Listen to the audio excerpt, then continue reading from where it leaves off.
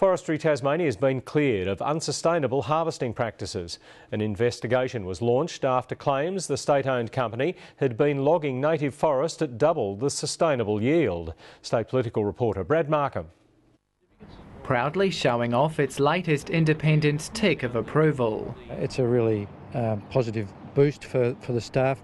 Forestry Tasmania has been recertified for a further three years under the Australian Forestry Standard customers have been asking uh, today, yesterday, and uh, they'll be very pleased to have the assurance that um, we've been recertified. It follows a rigorous audit into the struggling state owned company's forest management practices. This is important in terms of allowing international customers to understand that we are operating sustainably here in Tasmania. Those uh, certifications aren't worth the paper they're written on. They're, you know, just like a, a cheap uh, toy. You know, nobody wants it anymore, and the market's not prepared to pay for it.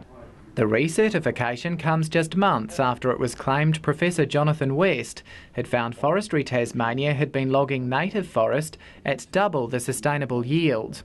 But an investigation has cleared it of overharvesting.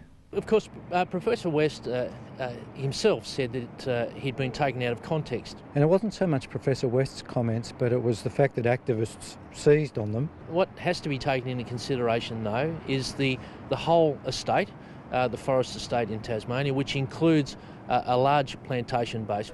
Despite the recertification, the Resources Minister is refusing to give any assurances about the company's future. Look, I think talk of job redundancies and so on has unsettled people.